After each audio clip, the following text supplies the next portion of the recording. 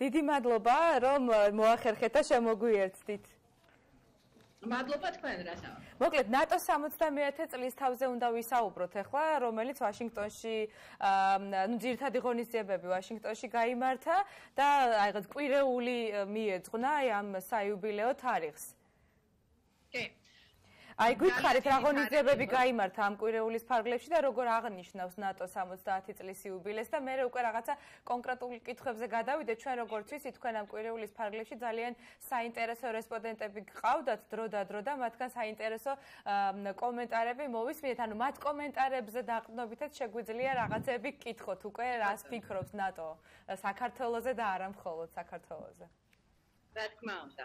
დავიწყოთ იმით რომ გამართა საკმაოდ წარმომადგენლობითი ღონისძიებები. ვაშინგტონში 70 წლის თავის ნატოს დაარსებიდან 71 წლის თავის აღსანიშნად ერთ-ერთი ყველაზე დიდი ღონისძიება ის იყო რომ გენერალური მდივანი იენს სტოლტენბერგი გამოვიდა კონგრესის გაერთიანებული სხდომის წინაშე სიტყვით და ისაუბრა როგორც ალიანსის ერთობაზე, ასევე ამერიკის როლზე ალიანსში და მნიშვნელობაზე ამერიკის მიერ აქტიური როლის თამაშისა, ასევე ისაუბრა საქართველოსა და უკრაინისთვის არჩევანის ქონაზე იმასთან დაკავშირებით, რომ ქვეყნება თვითონ აერჩიონ კურსი, რომელთაც უნდა დავითარდნენ.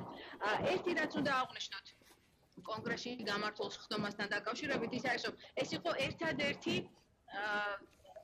ხელმძღვანელი საერთაშორისო ორგანიზაციისა, რომელმაც კონგრესის გაერთიანებულ ხდომას მიმართა სიტყვით. როგორც წესი, კონგრესი იჭრავს ადამიანებს მხოლოდ მხოლოდ და მხოლოდ სახელმწიფოს მეთაურებს იმისთვის რომ გაერთიანებული სიტომის წინაშე ადამიანის სიტყვით გამოვიდეს, მაგრამ სტოლტენბერგს აი ეს იმდენად დიდი პატივია, იმდენად დიდ პატივს ცემს და იმდენად დიდი აურპარტიული მხარდაჭერა ამერიკის კონგრესში ნატოს მიმართ, რომ აი ამ ადამიანს დაუთმეს ესეთი ძალიან მნიშვნელოვანი და საპასუხო ცენა. ჩვენ სტოლტენბერგის განცხადება ახსენეთ თქვენ აა იმასთან დაკავშირებით თუ რაც თქვა მან უკრაინისა და საქართველოს შესახებ მე პერიფრას გავაკეთებ.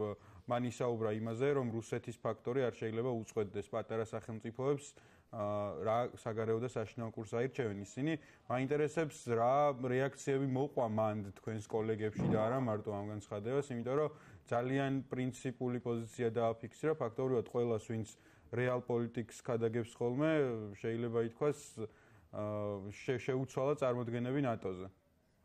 დიახ, ძალიან მნიშვნელოვანი იყო სწორედ იმ სცენიდან ამ განცხადების გაკეთება, საიდანაც ეს გააკეთა სტოლტენბერგმა.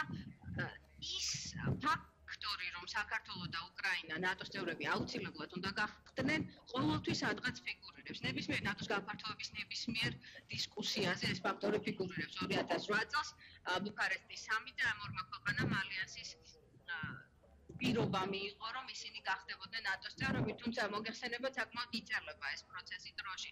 აა ორი რამ რასაც ამბობენ როგორც წესი არის ის, რომ ნატოს გადაწყვეტილება უკვე მიღებული აქვს იმასთან დაკავშირებით, რომ საქართველოს გახდება ნატოს წევრი, ანუ უბრალოდ საკმარისი პოლიტიკური ნება უნდა დაგროვდეს ალიანსში იმისთვის, რომ საქართველოს უშუალოდ გამოუგზავნონ მოწვევა და მეორე ის, რომ საქართველოს ჯერ კიდევ აქვს გასაკეთებელი ბევრი განსახორციელებელი რეფორმები, რომლებიც აუცილებელია იმისთვის, რომ საქართველოს იყოს ზუსტად ისეთი მაღლაზე, როგორცაც უნდა იყოს თქვა ნატოს წევრი. თუმცა შეგვიძლია თუ არა ქავოდანოია ვთქვათ, რომ სტოლტენბერგის განცხადებამ რუსეთი როგორც შემაფერხებელი ფაქტორი საქართველოსთვის შეიძლება ითქვას გამორიცხვა ხასავით, ანუ ნატო არ დაეკითხება რუსეთს, მიგვიღოს თუ არა საქართველოს ნატოში. ე ასეა ანალიზი რომ გავაკეთოთ იმისა რაც თქვა ბატონმა სტოლტენბერგმა ალბათ მართებული იქნება იმისი აღნიშნა რომ ის თვითონ როგორც გენერალური მდივანი ალიანსისა და ასევე მისი წინამორბედები. ყოველთვის იყო მხარდაჭერა იმისა რომ საქართველოს რუსეთს არ უნდა კონდეს ვეტოს უფლება ალიანსის გაფართოებაზე და პატარა ქვეყნების საგარეო კურსის არჩევაზე. ეს ყოველთვის სადღაც ფიგურირებდა, თუმცა ეს ამ დონეზე და ვაშინგტონში ამისი განცხადება უკვე რა თქმა უნდა სხვა დონეზე გადააქვს. ქალბატონია განცხადების შინაარსი. ქალბატონია პრეზიდენტმა ტრამპმა ალიანს დრომოჭმული უწოდა. ეს იყო ძალიან ესეთი ცოტა ხისტი განცხადება იყო და მყირალა და აი რა განცხადებები გაკეთდა მე საპასუხოთ ალიანსში თქვენ რამდენიმე ინტერვიუ ჩაწერეთ და მე როგორც ვიცი პასუხები არის ამ კითხვებზე რას ფიქრობენ ისინი პასუხები არის მას შემდეგ რაც პრეზიდენტმა ტრამპმა თქვა რომ ალიანსი დრომოჭმულია და მოძოლებული ორგანიზაცია მას შემდეგ მან დამოკიდებულება შეცვალა ალიანსის მიმართ. ასევე იყო შეშფოთება იმასთან დაკავშირებით, გამომდინარე იქიდან რა განცხადებებსაც მაშინ პრეზიდენტი აკეთებდა, რამდენად დაუჭერს ამერიკა მხარს ნატოს მეხუთე მუხტს მაგალითად, რომელიც არის საფუძველი მთლიანად თავდაცვითი ალიანსისა, რომ ერთ წევრზე თავდასხმა მთელს ალიანსზე თავდასხმას ნიშნავს.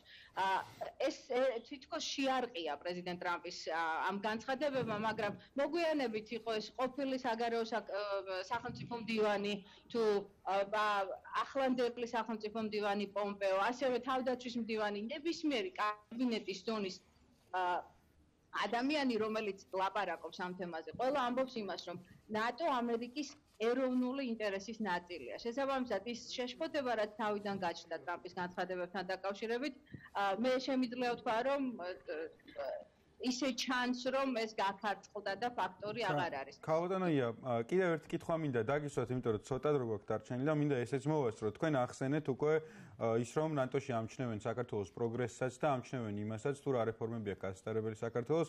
მე წინააღმდეგი ვარ ხოლმე რაღაცა ტყუილი მოლოდინების შექმნით და არ ვსაუბრობ ხოლმე რაღაცა რო ყველაფერი კარგადაა ჩვენთან და მარტო ნებაა დარჩენილი არ არის ესე მაინტერესებს ხო ან საქართველოს აქვს რაღაცა ხარვეზები რომლებსაც თუ არ გამოასწორებს ჩვენ ვერ გავხდებით ნატოს წევრი და ზირთად რა რა არ მოსწონს ხოლმე რა იმსახურებს ხოლმე ჩვენი პარტნიორების მხრიდან კრიტიკას ანუ რა რაში გვაკრიტიკებენ ხოლმე კრიტიკას არ დავარქმევ ასე ის უნდა აღნიშნოთ ვფიქრობ რომ ამერიკა არის პარტნიორი საქართველოსი და არ არის უბრალოდ ვიღაცა გარემდგომი მესამე ძალა რომელიც უბრალოდ გარედან აფასებს. საქართველოს ძალიან აქტიურადაა შეერთებული შტატები ჩართული იმაში რომ საქართველო მივიდეს განვითარების და დემოკრატიის განვითარების იმ დონემზე იმ დონემდე მაქსიმალურ დონემდე ასე რომ ვთქვათ ერთი რაზეც ყოველთვის არის საუბარი არის სასამართლო, სასამართლოს დამოუკიდებლობა, მეორე მედიის დამოუკიდებლობა და მედიის თავისუფლება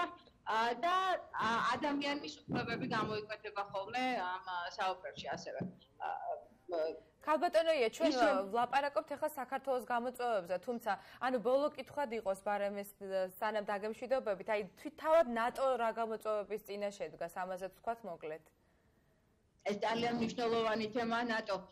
დიდი გამოწვევების წინაშე დგას, თუმცა ეს გამოწვევები შედარებით დაიძლია ბოლო რამდენიმე წლის განმავლობაში. მაგალითად, ალიანსმა გააძლიერა მისი სამხედრო ყოფნა აღმოსავლეთ ფლანგზე, რუსეთის საზღვართან ახლოს, თქვა პოლონეთში, ბალტიისპირეთის ქვეყნებში, შავ ზღვაზე.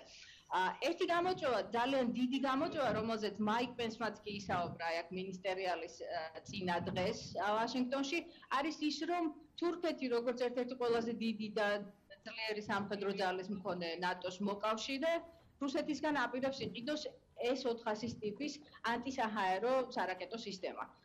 ეს შეუთავსებელია ნატოს თავდაცვის სისტემებთან და ამასთან ერთად წარმოადგენს საფრთხეს ნატოს თავდაცვისთვის იმის გამო რომ თუ მოხდა S400-ების ინტეგრირება ნატოს თავდაცვის სისტემაში, მაშინ რუსეთს ეკნება დომა გარკვეულ საიდუმლო ინფორმაციაზე, რომელზეც ეხლა არ აქვს დომა.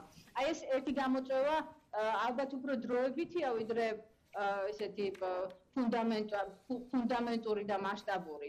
თუმცა გამოწვევა არის. და მეორე რა თქმა უნდა ის რაზეც პრეზიდენტმა ტრამპმა ძალიან აქტიურად დაიწყო საუბარი დაახლოებით 2 წლის წინ ნატოს მოკავშირეების მიერ საკუთარი წილი წილის გაღება თავდაცვის ხარჯებზე, ანუ მთლიანი შიდა პროდუქტის 2% როგორც დაპირება დადეს. ეს არ არის დამავალდებულებელი პირობა სხვათა შორის ალიანსის წევრების ამათ უბრალოდ თქვენს რომ კი ჩვენ თანახმოვართ რომ თლიანში და პროდუქტის 2% თავდაცვაზე დავხარჯავთ. მაგრამ სულ ხუთი ქვეყანაა თუ არ ვსდები რომელიც იცავს ამ პირობას და ამერიკა ფაქტობრივად სამოქმედო ხარჯების დაახლოებით 72%-ს ამერიკა იღებს ნატოს ალიანსისა და პრეზიდენტმა ტრამპმა მოუწოდა მათ, რომ 2024 წლისთვის უკვე იყოს დადებული ისეთი შედეგი, რომელიც თალსახად დაანახებს იმას, რომ ქვეყნები მზად არიან აი ამ 2%-ამდე ავიდნენ. აუტონოია, დიდი მადლობა, რომ ჩვენთან ერთად იყავით და საინტერესო კითხვებზე გპასუხობდით ქაუტონი ია მეურმიშვილი ამერიკის ხმის ჟურნალისტი იყო. ჩვენი სტომარი და საუბრობდით ნატოზე. სხვა შორის ხარჯებზე მინდა აღნიშნო რომ ჩვენ ყოველწლიურად უახლოვდებით ნატოს სტანდარტს რამდენჯერმე გადავაბიჯეთ კიდეც ასე რომ უნდა დავამშვიდობოთ თუ ვარ ეთერში 2% საქართველოს ასრულებს და ამასთან ერთად აი ამ ორი გამოყოფილი 2%-დან 20% კიდევ არის ის თანხა, რომელიც შეიარაღების განახლებაზე უნდა დახარჯოს ქვეყანამ და საქართველოს ამ პირობასაც ასრულებს. ანუ მაგ მხრივ ნატოს წევრობასთან ძალიან ახლოს ვართ. თუ არა უსწრებ კიდევაც ზოგიერთ მოკავშირეს. გარდა მაგისა, ჩვენი კონტრიბუცია მსოფლიოს მშვიდობისთვის ძალიან დიდია, ასე რომ ბევრი ძლიერი მხარე გვაქვს. ჩვენ ძალიან დიდი მადლობა ქალბატონო ია, რომ ჩაგვერთეთ, მოახერხეთ.